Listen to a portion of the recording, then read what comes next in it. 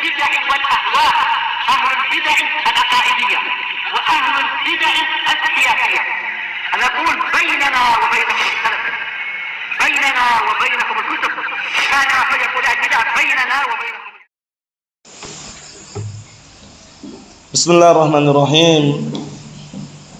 الحمد لله والصلاة والسلام على رسول الله وعلى آله وصحبه ومن والاه. Amma ba'd. Seperti biasanya kita akan melanjutkan bacaan terhadap syarah kitab al-jami' dari kitab Bulughul Maram Babul Adab yang disyarah oleh Syekh Al-Allamah Abdul Aziz Ibn Abdullah Ibn Baz rahmatullah alaih. Hadis yang terakhir kita baca disetorkan terlebih dahulu yaitu hadis seputar haramnya isbal. Haramnya apa? Isbal. Haramnya memanjangkan pakaian sampai di bawah mata kaki. Baik itu sarung atau sirwal atau e, jubah atau gamis memanjangkan kainnya sengaja sampai di bawah mata kaki haram sampai di atas mata kaki selamat kalau dia mau abdal sampai sebetis. Setengah betis abdal. Di tengah-tengah mata kaki berbahaya. Di bawah mata kaki haram. Di atas mata kaki selamat. Nah barakallahu fi hadisnya sebagaimana seperti kemarin yang setorkan setorkan terlebih dahulu pendek mudah dihafal situ. Barakallahu tafaddalu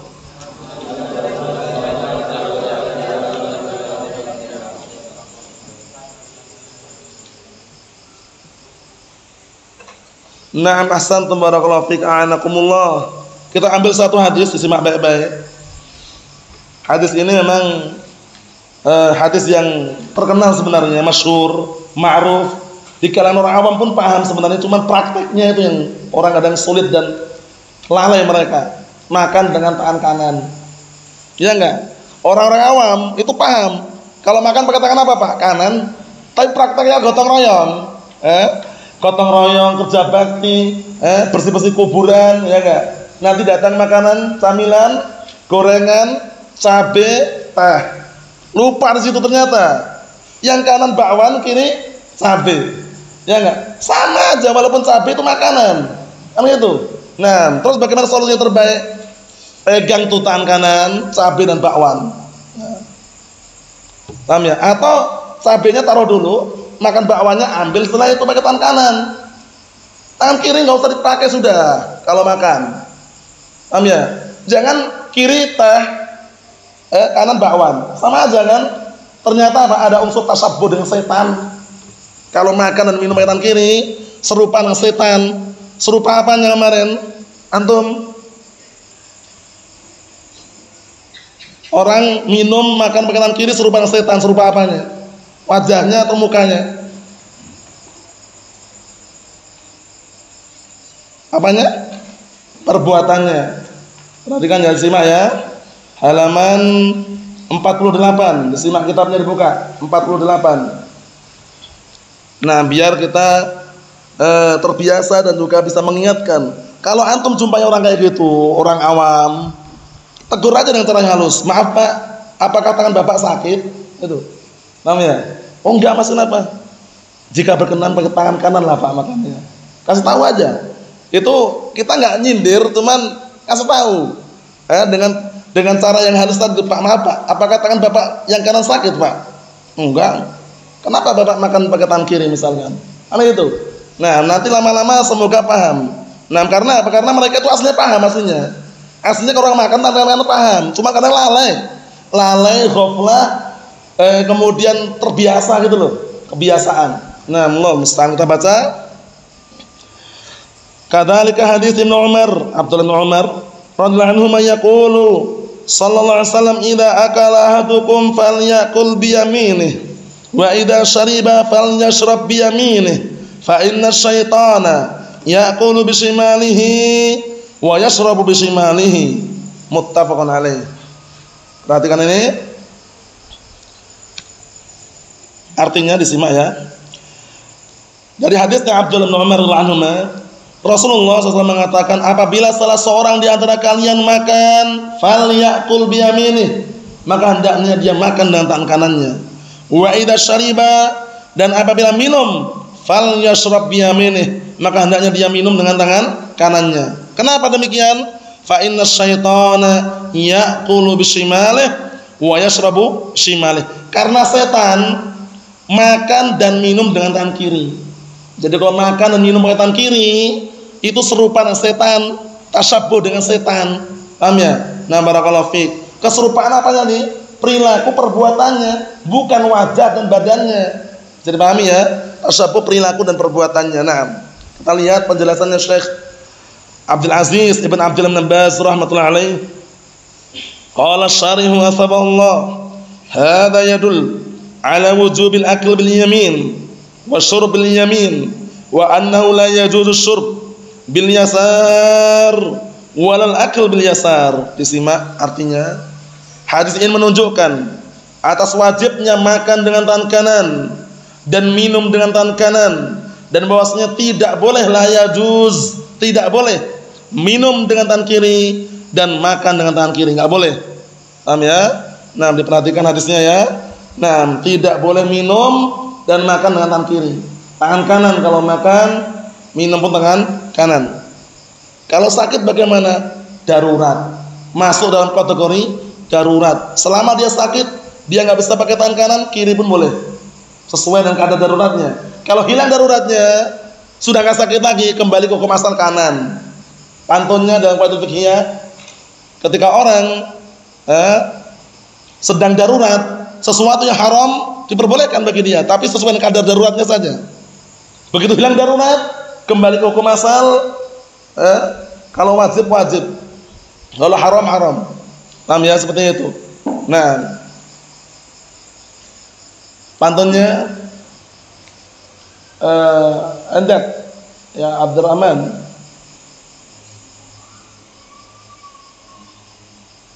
apa? Naam ahsanta barakallahu fiik. Disebutkan oleh Al-Imam Sa'di rahmatullah alaih dalam kitab Al-Qawaid Fiqhiyah beliau mengatakan walaisa wajibun bilaktidari wala muharramun ma'attirari. Perkara yang wajib itu tidak menjadi wajib kalau dia enggak mampu. Wala muharramun ma'attirari dan tidak ada perkara yang diharamkan kalau dia terpaksa. Wa kullu mahdhurin ma'ad darurah, perkara yang haram bersamaan darurat bi qadri ma tahtajahu darurah, sesuai dengan kadar daruratnya. Kalau sudah enggak darurat, enggak boleh lagi. Antum tersesat di tengah hutan, enggak ada makanan, la minuman wala makanan. Antum tersesat tengah hutan ya, tengah hutan. Jalan-jalan jalan-jalan, tidak ada supermarket wala Alfamart wala Indomart situ. Enggak ada makanan wala nemu bangkai. Nemu bangkai Paham ya? Nah, di saat itu antum boleh makan bangkai yang semula haram. Tapi sesuai dengan kadar daruratnya. Satu suapan, dua suapan, dua suapan, tiga suapan. Setelah tiga suapan kok tegak lagi tulang punggung antum, bisa jalan nggak boleh nambah lagi. Karena daruratnya hilang. Paham ya? Nah, ini juga sama ketika orang ketika tangan kanannya sakit, nggak bisa makan dengan kanan, boleh dia menggunakan kiri sesuai dengan daruratnya udah sembuh kembali ke hukum asal tangan kanan lagi. Bisa dipahami ya? Nah, kita baca perhatikan. Wa fi sahih an Jabir anhu anna rajulan akala bishimalih faqala lahu Nabi sallallahu alaihi wasallam kul bi yaminik qala la astati' lihat ini hadisnya ini sombong sombong nolak bantah bangkang lihat ini ada syariat dia sombong nolak bantah bangkang di dalam sahih dari Jabir bin Abdullah anhu, anna rajulan, bahwasanya ada salah seorang disimak itu ya, akal bishimalih, makan dengan tangan kirinya. Faqala lahu Nabi SAW, kemudian Rasulullah SAW berkata kepada orang tersebut, "Arbut, kul biyaminik." Makanlah dengan tangan kananmu. Qala la astati' katanya. Aku enggak bisa, enggak mampu katanya. Padahal dia bisa. Dia cuman banyak alasan aja dia. Paham ya? Rasulullah makan kamu dengan tangan kanan kata dia aku nggak bisa nggak mampu katanya nggak bisa nggak mampu katanya kalau las kalau begitu kamu nggak akan mampu selama-lamanya. Kena doa ya. Enggak akan mampu selama-lamanya. La sata'ta. Kamu akan mampu selama-lamanya. Ma manahu ilal kibr lihat. Tidaklah yang menghalang-halangi dia itu melainkan kesombongan karena sombong dia. Dia nggak mau makan makan pakai tangan kanan itu karena sombong. Tapi ngomongnya aku nggak mampu. Rasulullah mengatakan, "Lastata'ta." Kamu nggak akan mampu selama-lamanya. Ternyata nggak bisa ngangkat lagi tangan kanannya ke mulutnya bayangkan itu. Wal'iyadzubillah. Nah, fama rafa'aha ila fi. Akhirnya orang tersebut tidak mampu mengangkat tangannya ke mulutnya. Yakni uqiba uqubatan muajjalah dihukum, diadab dengan hukuman yang disegerakan. Langsungan. Dibayar kontan langsung. Eh, maksudnya dikasih hukuman kontan langsung oleh Allah Taala lihat ini. Eh, awalnya makan kamu dengan tangan kanan, aku nggak mampu, nggak bisa katanya. Ucapan ini muncul bukan karena benar-benar nggak bisa, sombong, sombong, nolak, bantah, bangkang syariat Rasulullah SAW. Akhirnya apa kata Rasulullah? La kamu nggak akan mampu katanya selama-lamanya. Ternyata nggak bisa ngangkat lihat Nggak bisa ngangkat tangan tangan kanannya ke mulutnya nggak bisa. Allahumma sallim sallim. Li'annahu imtana'a 'anil akl bil yamin takabburan lihat Karena faktor yang menghalang-halangi dia makan dengan kanannya, eh? faktor yang menghalang-halangi dia makan dengan tangan kanannya apa? Takabburan, sombong. Karena sombong bukan karena sakit. Berarti yang kita pahami, kalau sakit lain lagi. Misalnya tangannya sakit, bengkak, bisul, nggak bisa makan dengan kanan, silakan pakai tangan kiri sesuai dengan kadar daruratnya. Tapi kalau kanan sombong, nolak syariat, eh, banyak alasan, sombong, songkak, nih alasannya ngeri. Dibayar kontan langsung. Allahumma salim salim. Fada alaihi Nabi sallam. Fada alaihi an Nabi sallam annahu la yastati. Faedah di situ. Disimak baik-baik faedahnya kita orang ajam bukan orang Arab. Benar ya? Sehingga untuk mengucapkan bahasa Arab upayakan ngikutin kaidah orang Arab. Ad-du'a ala itu doa kejelekan. Kalau ad-du'a li itu doa kebaikan. Sehingga kalau antum nyuruh orang tolong doakan aku ud'u alayya ya akhi, ud'u alayya. Artinya kalau ud'u alayya doakan kejelekan untukku. Tapi bagaimana ud'u li? Ud'u li Beda ya? Beda enggak Mas Hasan? Lafadznya beda atau sama? Ud'u alayya, doakan aku dengan kejelekan. Kalau ud'u li, doakan aku dengan kebaikan. Beda kan? Nah, kita orang aja makanya jangan keliru lihat nih. Pada alaihi An-Nabi SAW akhirnya Rasulullah mendoakan kejelekan untuk orang tersebut. Annahu la yastati' bahwasanya dia tidak akan mampu mengangkat tangannya. Fa'uqiba 'uqubatan mu'ajjalatan lihat ini. Akhirnya dihukum dengan hukuman yang disegerakan dibayar kontan langsung nggak mampu lagi dah ngangkat tangannya nggak bisa dia. Kenapa? Sombong. Kalau perkaranya dia sakit dapat udur lah. Tapi ini nggak sakit dia. Suruh makan tangan kanan dia mengatakan kul ini makan kamu dengan kanan, tangan kananmu dia. Lasat la aku nggak mampu padahal mampu dia. Sombong aja. Paham ya? Akhirnya la sata'ta Rasulullah. Rasulullah alaihi wasallam mengatakan la sata'ta kamu nggak akan mampu selama-lamanya Wa uqiba uqubatan muajjalatan ijabatan da'wati alaihi salatu wassalam. Lihat ini. Maka dia dihukum dengan hukuman yang disegerakan, muajjalah disegerakan. Dibayar pontan tadi itu dengan hukuman yang uh, billah ijabatan dalam keadaan hal ini adalah apa? Ijabatan yaitu mengabulkan doa Rasulullah SAW. Wa uqubatan lah dan hukuman orang tadi ala takaburihi wa israrihi al kibr wa. Sebagai hukuman untuk orbut orang tersebut karena apa? Di atas kesombongannya dan terus menerus israr terus menerus artinya ya. Israr artinya terus menerus dan terus menerusnya dia di atas kesombongan dan kedustaan.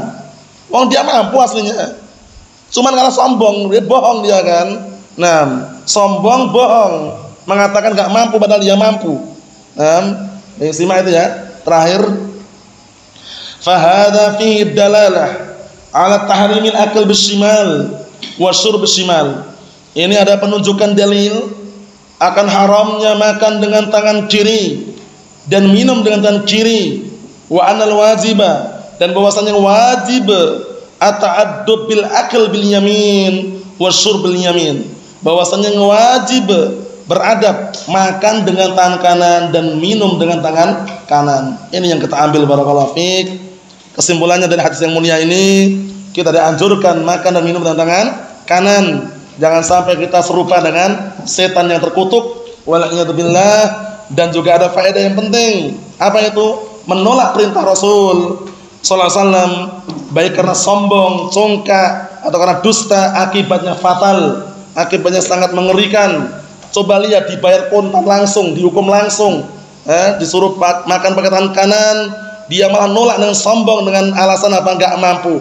Akhirnya didoakan kejelekan, enggak mampu sama sekali mengangkat tangan kanannya ke mulutnya waliyadzubillah. Falyahdharil ladzina yukhalifuna an amri an tusibahum fitnah aw yusibuhum aw yusibuhum adzabun alim. Artinya apa? Eh, hendaknya berhati-hati orang-orang yang menyelisih perintah Rasulullah SAW antusibahum fitnah aw sibahum adzabun alim atau akan nimpa padanya akan timpa padanya fitnah, balak petaka bencana atau akan timpa padanya adab yang pedih. Nasallahu as-salamata wal afiyah fid dunya wal akhirah. Walhamdulillahirabbil alamin.